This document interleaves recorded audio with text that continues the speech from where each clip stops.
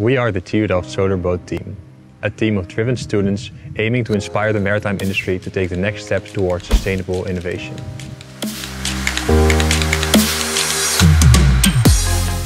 Every year we build a new boat. And this year we built a boat that sails on hydrogen energy. The boat consists of three carbon fiber hulls, connected by two beams. It is 8 meters long and 6 meters wide. We store the hydrogen in an enormous 2.3 meter long tank on top of the main hull.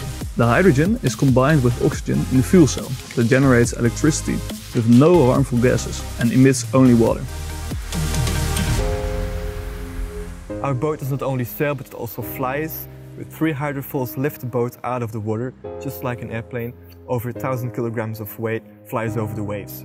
So that way we have less drag we can cover more distance on the same amount of energy. To make all the systems on our boat work together seamlessly, we write our own custom code, which runs on PCBs, printed circuit boards designed by ourselves.